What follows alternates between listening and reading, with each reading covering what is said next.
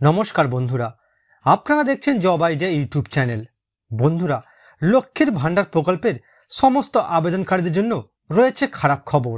November মাস থেকে দেশের এই তিনটি ব্যাংকে দেওয়া হবে না আর লক্ষ্মীর ভাণ্ডার প্রকল্পের টাকা, যা লক্ষ্মীর ভাণ্ডার প্রকল্পের আবেদনকারীদের জন্য খুবই খারাপ খবর। কারণ একটি দিন দরিদ্র মহিলার কাছে লক্ষ্মীর ভাণ্ডার প্রকল্পের টাকা খুবই গুরুত্বপূর্ণ। সংসার চালানোর অনেক কাজেই লাগে এই লক্ষ্মীর ভাণ্ডার প্রকল্পের টাকা। এখন প্রশ্ন হলো, বন্ধুরা, কি কারণে দেওয়া হবে না লক্ষ্মীর ভাণ্ডার প্রকল্পের টাকা? কোন কোন ব্যাংকে দেওয়া হবে না? যাদের এই সব ব্যাংকে অ্যাকাউন্ট আছে, তারা কীভাবে পুনরায় টাকা পেতে শুরু করবেন? এই রকম সমস্ত প্রশ্নের উত্তর পেয়ে যাবেন আজকের এই ভিডিওতে। তাই বন্ধুরা, ভিডিওটাকে পুরোপুরি দেখবেন। আর বন্ধুরা, আমাদের চ্যানেলে নতুন দর্শক হলে চ্যানেলটি সাবস্ক্রাইব করে অল নোটিফিকেশন বেলটি অন করে নেবেন।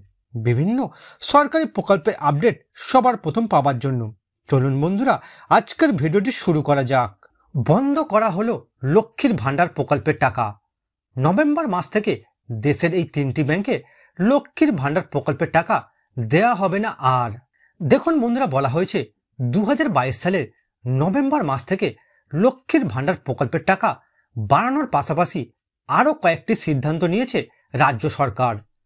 টাকা বাড়ানোর পাশাপাশি খারাপ খবরও রয়েছে লক্ষ্মীর ভাণ্ডার প্রকল্পের আবেদনকারীদের জন্য। নভেম্বর মাস থেকে কিছু কিছু ব্যাংকে বন্ধ করে দেওয়া হবে লক্ষ্মীর ভাণ্ডার প্রকল্পের টাকা দেওয়া। সেই সঙ্গে এই সব ব্যাংকে যেসব মহিলাদের অ্যাকাউন্ট থাকবে, তাদের নতুন করে আবার ব্যাংক অ্যাকাউন্ট খুলে পুনরায় লক্ষ্মীর ভাণ্ডারের ফর্ম জমা করে আসতে হবে। জানা গিয়েছে বন্ধুরা, এই ব্যাংকগুলিতে নভেম্বর মাস থেকে আর কোনোভাবে টাকা পাঠাবে না রাজ্য সরকার। কোন কোন ব্যাংকে টাকা দেওয়া হবে না, কি কারণে টাকা দেওয়া হবে না, তার নিচে বিস্তারিতভাবে জানানো হলো। প্রথমেই দেখে নেব বন্ধুরা, কোন কোন ব্যাংকে লক্ষ্মীর ভাণ্ডার প্রকল্পে টাকা দেওয়া হবে না নভেম্বর মাস থেকে। এক নম্বরে রয়েছে rupee cooperative bank. September মাসে এই ব্যাংকের লাইসেন্স বাতিল করেছে আরবিআই অর্থাৎ বন্ধুরা, যেহেতু এই ব্যাংকের লাইসেন্স বাতিল করেছে আরবিআই তাই এই ব্যাংকে আর লক্ষ্মীর ভাণ্ডার প্রকল্পে টাকা দেওয়া হবে না। দু নম্বরে রয়েছে Seva Vikas cooperative bank.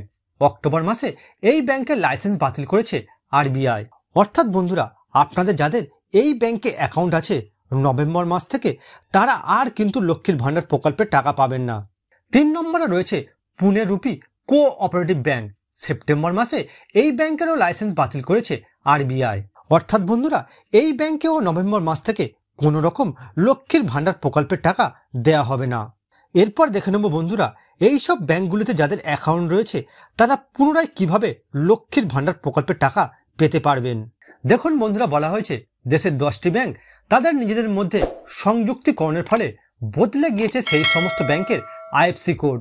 IFC code পরিবর্তন হওয়ার ফলে অনেক মহিলা এমন আছে, যারা লক্ষ্মীর ভাণ্ডার প্রকল্পের কোনো রকম টাকা পাচ্ছেন না। এই রকম সমস্যা যাদের হয়েছে তাদের পুনরায় ব্যাংকের নতুন আইএফসি কোড সংগ্রহ করে লক্ষ্মীর ভাণ্ডার ফর্মের সঙ্গে জমা করতে হবে। এছাড়া বন্ধুরা, যেসব ব্যাংকগুলি বন্ধ হয়ে গিয়েছে সেই সব ব্যাংকের মহিলাদেরও পুনরায় নতুন ব্যাংকের অ্যাকাউন্ট নাম্বার নিয়ে লক্ষ্মীর ভাণ্ডার ফর্মের সঙ্গে জমা করতে হবে। নভেম্বর মাসে রাজ্যে আবার দুয়ারে সরকার ক্যাম্প শুরু হবে। ক্যাম্পে গিয়ে আপনার লক্ষ্মীর ভাণ্ডার প্রকল্পের যাবতীয় সমস্যার সমাধান করতে পারবেন। বন্ধুরা বর্তমানে আপনারা কারা কারা লক্ষ্মীর ভাণ্ডার প্রকল্পের টাকা পাচ্ছেন? আর কারা কারা লক্ষ্মীর ভাণ্ডার প্রকল্পের টাকা পাচ্ছেন না? অবশ্যই কমেন্ট করে জানান। এছাড়া বন্ধুরা, লক্ষ্মীর ভাণ্ডার সম্পর্কে কোনো প্রশ্ন থাকলে কমেন্ট করতে ভুলবেন না। তো বন্ধুরা, আবারও দেখা হচ্ছে পরবর্তী ভিডিওতে।